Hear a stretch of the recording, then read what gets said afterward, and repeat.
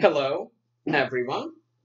So my student today took all of my rating points, which inspired me to play some games to get them back. So this is a very fun game, which I just played against someone rated in the high 1900s.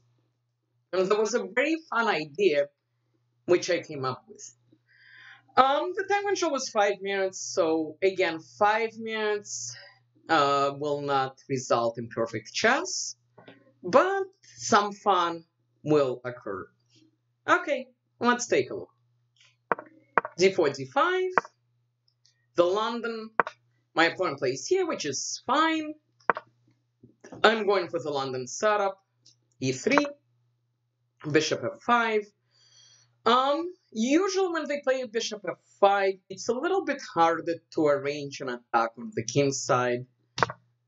I just set up the normal London structure. And he played queen d7, indicating that he probably wants to castle long. Okay, I developed my knight, nothing special. In the perfect world, I have this dream. Uh, the dream will not will never become a reality, especially after he plays f6. f6 prepares ideas like e5 at some point or g5, but it takes away the square from the knight. Okay, I play bishop b5. If he plays a6 and then b5, I kind of want him to do that because then he does not really want to castle long anymore because his king will be open. So he castles immediately. I developed my knight, nothing special. He attacked my bishop. I have no choice. I moved it. And obviously he wants to trap my bishop. And now the question to answer, of course, am I playing h4 or am I playing h3? Um, I thought for a little bit of time I decided I decided to play h3. After h4 I didn't like g4 and then my knight has to come here and come around, which I didn't like um, or go here, which I also did not like. I played h3, e6, makes sense. He just wants to finish his development. b4. Okay, uh, two points. One, this might happen. And B, this might happen. Either here or here. And I want to play this move um, to bring my knight into the attack, I do not want to block this pawn, and also the reason I want to move this knight is so that this knight, if attacked, instead of going somewhere like here, might actually also head in this direction. Bishop d6. I don't want him to take me because it will make my pawns look pretty bad. So I took him first. He took back with a queen. I think with a pawn is not terrible either, with the possible idea of this at some point. But he took with a queen. I continued with my attempt to attack.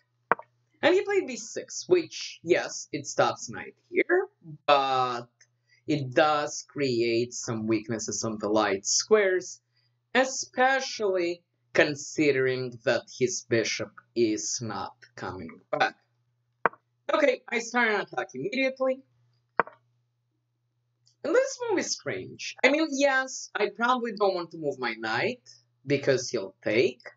I probably don't want to castle. Well, I could castle, but I need to make sure that my queen is here. But at any rate, I don't think I want to castle into this with the idea of g4. So I continue with my plan of attack, and he just ignored me. So I took to open up this line.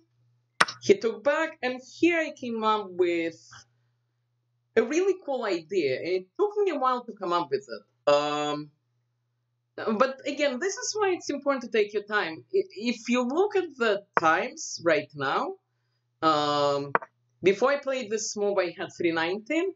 I ended up, ended up spending more than 30 seconds on this move. And again, this is why it's so, so useful to take your time. Uh, because sometimes one move will be the difference between winning and not winning. And knight c5 looks like a crazy move because um, it's just a free knight. But the logic is if he takes, I take back. Uh, his queen only has one square here, and then his king is out in the open. I can bring in my queen, I can punish him with my rook, and life is just really, really, really good. Uh, so he thought for a while here. Again, this is why it's so um, it's so important to not rush. If he plays quickly, he's just going to die immediately. My threat, by the way, because my knight is covering the squares, is to play rook here, uh, forcing this, and then bishop here is checkmate, which is just really, really, really nice. Um, he plays knight there immediately. Um, and here I had to figure out what to do. I decided to check first, uh, forcing his knight to take.